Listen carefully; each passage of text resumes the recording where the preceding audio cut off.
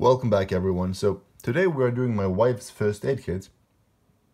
She's not really into carrying gear and this far she has a SAK Classic Alox on her keys, a whistle, a Fox 40 micro, and she has a flashlight in her pack, a TrueNight TI 4, I think it is. It's a AAA flashlight in stainless with the uh, Firefly mode.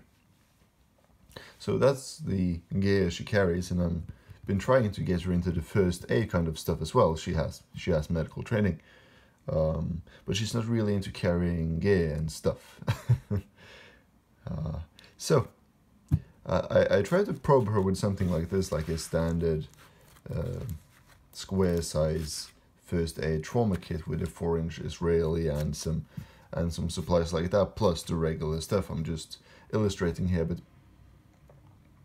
uh, this was too much for her. Like she didn't feel she would need it somehow. We have a well-stocked first aid kit in the car, so if we are driving, she has tourniquets and all sorts of stuff there. But for EDC to to the city and such, so uh, we both commute to the city by train. Um, so to have something something there while she's in the hospital all day. But back and forth to and from the hospital maybe it would be nice to have some supplies. Uh, she is kind of dubious about that but this was too much anyway.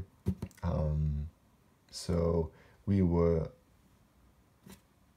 discussing a little bit and she would consider something smaller. So away with that one and then back with an old favorite here this one. So this is a much smaller if you compare it, it's it's about the same width as an Israeli, okay, but the entire kit is much thinner than just the Israeli bandage, right?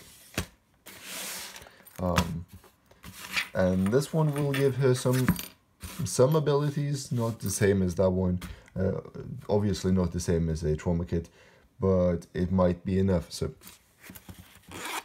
in here, as you see, it's kind of packed, but we still have some room for, for meds and such. I didn't add any medication. She can put what she wants herself. Um, but yeah, we have a, uh, a CPR mask with a proper valve on it. Not the cheapest one. These are a little bit more expensive, thicker, better than just the, you know, the, the bag with the small valve in it. So this is a little bit, little bit bigger valve to it. Uh, gloves, a pair of gloves, standard pack. This is came with, I think it came with this kit actually, this one. This one did not come with this kit. A um, Israeli field dressing, okay. Uh, why the Israeli field dressing? Well, the form factor for it, okay, it's very small, very flat.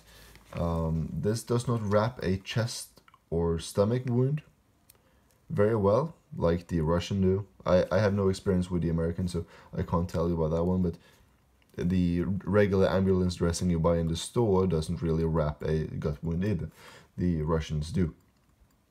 Uh, so this one don't. This is a limb type of bandage. Of course, you can use it elsewhere as well with pressure. So yeah, uh, considering packing, packing a wound, the likelihood of you starting to self-pack a junctional trauma to yourself is quite low in my opinion. And if you're helping somebody else then you can improvise. Uh, it's much easier to improvise on somebody else than on yourself. This is for a for a limb injury really. And with pressure as well it will help. Um, there's no tourniquet in here that takes more space. I'm considering grabbing some TK4s these tourniquets to try out we'll see. People tell me they don't really stop a leg bleed, so how useful are they? Well, that can be discussed, but let's keep on going here. So we have that. That's kind of our trauma. If you have a chest wound uh, to the thorax or whatever, gloves, holding a gloved hand on top, using the wrapper will create a seal, so that's something to consider. You can improvise that. And then we have some chlorhexidine wipes, two chlorhexidine wipes, burn gel. That one came with a kit, this didn't, burn gel, one sachet of, this is burn shield, this is tea tree oil. a uh, Compeed. It's kind of like moleskin but better and more expensive, but it, it really works for your for your feet if you get blisters. A large band-aid, some smaller band-aids,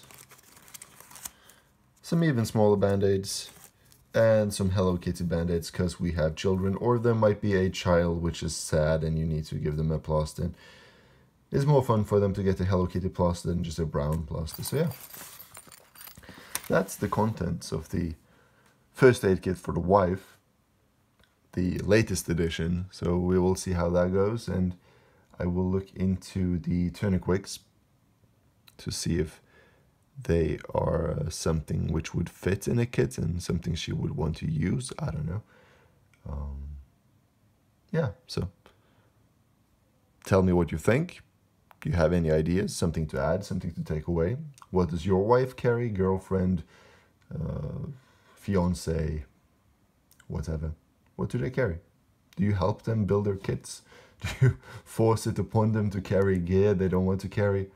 uh, how do they feel about it? You know, us gay people like to help others get more prepared, and you know, our spouses are uh, the first first in the line for that treatment. So uh, let's try to not make it too much for them, so they get too tired from us. But you know, a a first aid kit never hurts anybody really. You know, it's really nice to have, and if you have the capacity to carry it you should try to carry at least something.